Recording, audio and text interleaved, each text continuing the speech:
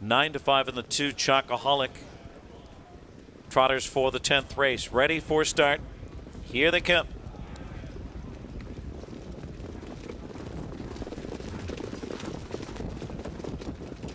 Off and trotting. Wygant Prince out fast on the outside. Rock of Cashel.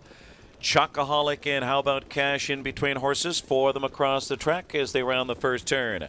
As Most Wanted Lindy goes right to the cones in the fifth position. Mackenzie Star on the inside sixth. Then it's Cagney's trotting in seventh, followed by Bella Chick, and at the back is Jimmer. They trot three wide past the opening quarter. Paul Minori and Wygant Prince coming after Chocoholic and Campbell.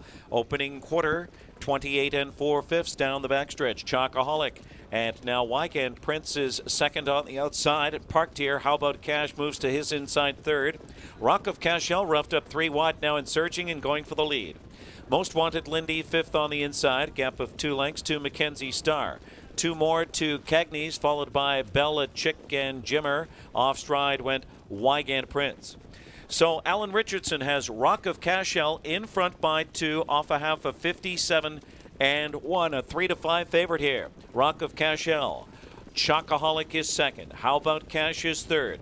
Most Wanted Lindy to the outside. Fourth. Mackenzie Stars fifth. About three eighths to go. And then it's four lengths. Cagney's drops out of it.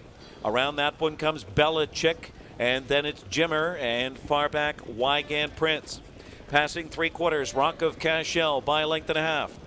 Chocoholic asked for more. Most Wanted Lindy, third on the outside. How about Cash is fourth. Mackenzie Star late move fifth. Three quarters, one, 26 and two. Rock of Cashel appears wrapped up here and draws clear by three and a half, four. Rock of Cashel trotting away from Chocoholic. Now on the outside, Most Wanted Lindy comes on into second. Then it's Mackenzie Star.